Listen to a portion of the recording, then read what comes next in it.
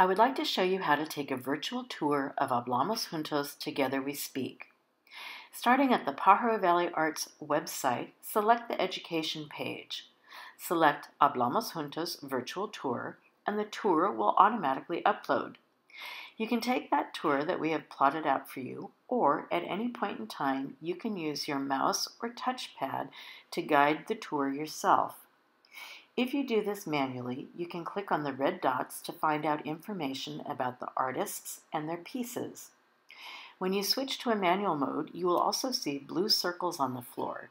Click on these to navigate between the rooms and to get a closer view of the artwork.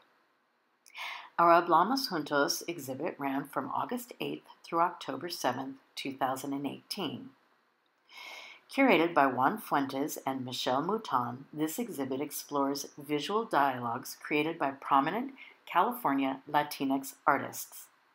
Since our exhibit is closed, we invite you to take a virtual tour to experience this extraordinarily rich exhibit, which shows the different ways our artists give voice to and navigate daily life, current events, social, political, and cultural issues, community, ethnicity, as well as personal narratives, myths, and history. Artists included Susana Arias, Amalia Mesa Bains, Eduardo Carrillo, Irina Cervantes, Pablo Cristi, Amy Diaz Infante, Juan Fuentes, Danielle Galvez, Jose Lozano, Lorraine Garcia Nakata, Carlos Jackson, Carmen Leon, Hector Mendoza, Viviana Paredes, Pancho Rodriguez, Michael Roman, Manuel Santana, Linda Vallejo, and Cruz Ortiz Zamaron.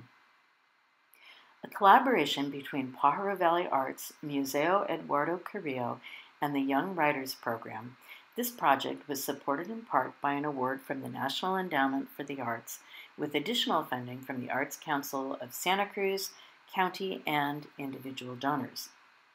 The Hablamos Juntos exhibit was presented in partnership with the San Jose Museum of Art New Terrains collaboration. Through New Terrains, Mobility and Migration, South Bay arts organizations banded together to present a series of cross disciplinary exhibitions, programs, and experiences that explore how bodies move through spaces, socially, politically, literally, and figuratively. We hope that our virtual tour has provided you with an alternate, alternative way of experiencing our exhibit.